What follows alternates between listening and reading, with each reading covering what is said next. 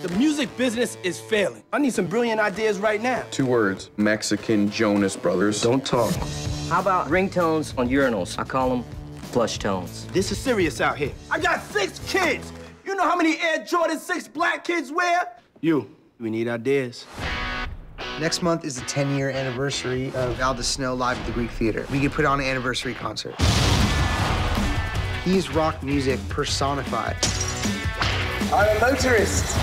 I want you to go to London and pick them up, then bring them back here for the show at the Greek. Can you handle it? Definitely. It's love. I just want you to know that I respect you. Okay, now that's making me feel uncomfortable. Hey, Aaron Green, yeah, from Pinnacle. Hey, man. Hey. Wow, what? Okay. L2, right. Europe.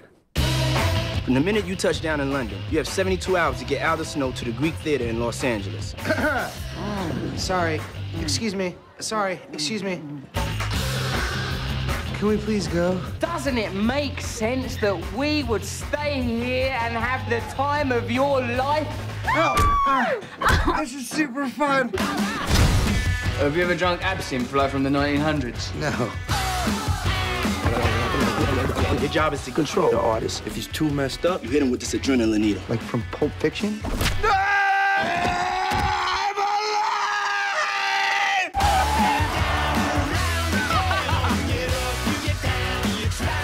I feel like I've seen behind the curtain. And behind the curtain is a sweating little drunk idiot covered in puke. Hey, Meredith. Oh my gosh.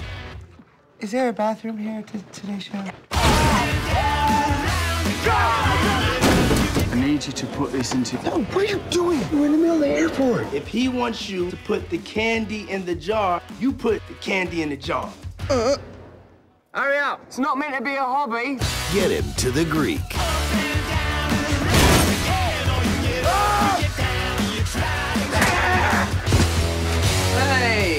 Morning. What time is it? 5 a.m. Should we go jogging?